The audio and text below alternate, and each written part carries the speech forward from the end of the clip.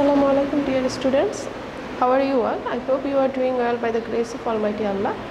I am also well. I am Farjana Akter Moonmoon, assistant teacher of English National Ideal English Version School. Today I am going to take English literature class of class 4 and our today's topic is question answer. This is our lecture number 18. So I hope you have already learned about this question. You already know the answers, almost all the answers from the, of these questions. Again I am discussing about this question. Question answer number 1. Who were parts of Crusoe's family on the island? From the story of Robinson Crusoe that means the footprint, we know Robinson Crusoe was a young boy, 18 years old young man when he was on the island and then he was there for about 28 years and then he built a family there and dogs, cats, parrot, herd of goats and fruits garden are parts of Crusoe's family on the island. He used to build his own castle and garden and he helped to grow dogs, cats and parrot. So we can see our answer is here. Who are parts of Crusoe's family on the island? Answer dog, cats, parrot, herd of goats and fruits garden are parts of Crusoe's family on the island. So you can see this is the answer of question number 1. Now question number 2. Where was Crusoe going when he saw the footprint?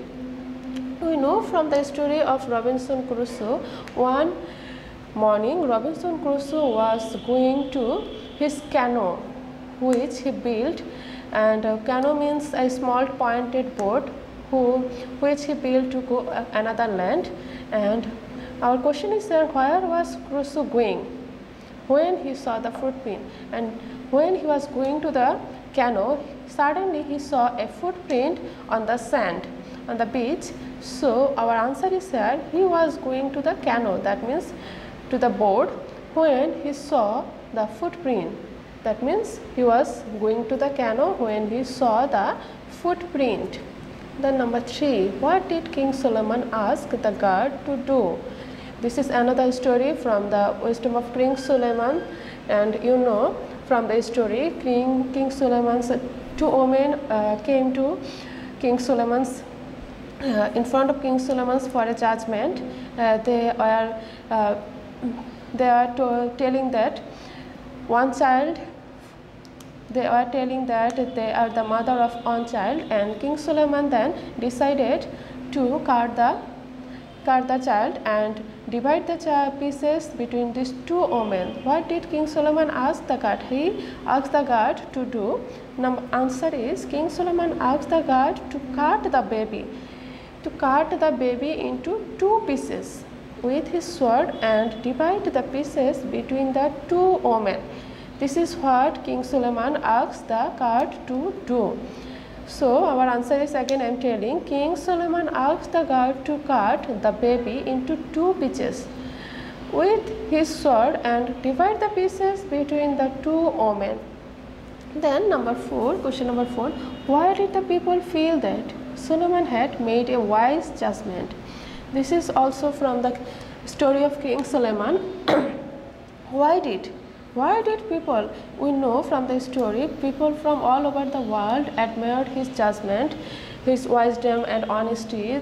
So, they believe he will do a wise judgment every day, every time.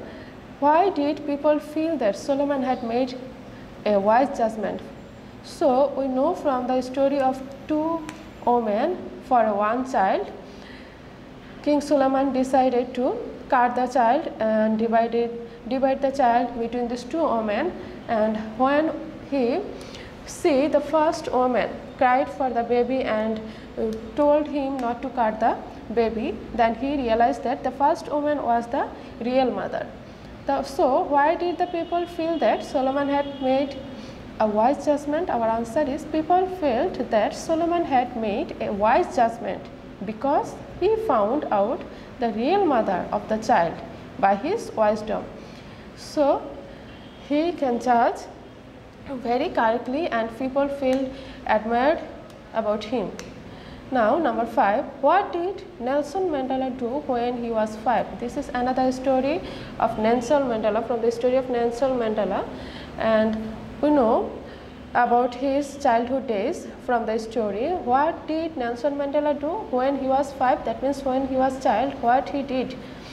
Answer Nelson Mandela became a hard boy. That means he takes he took care of the sheep or goats. That's why we call him a hard boy and looked after the sheep and calves in the field. He loved caring for them. This was his childhood days when he took care of the sheep and calves in the field and he loved and enjoyed his life like this.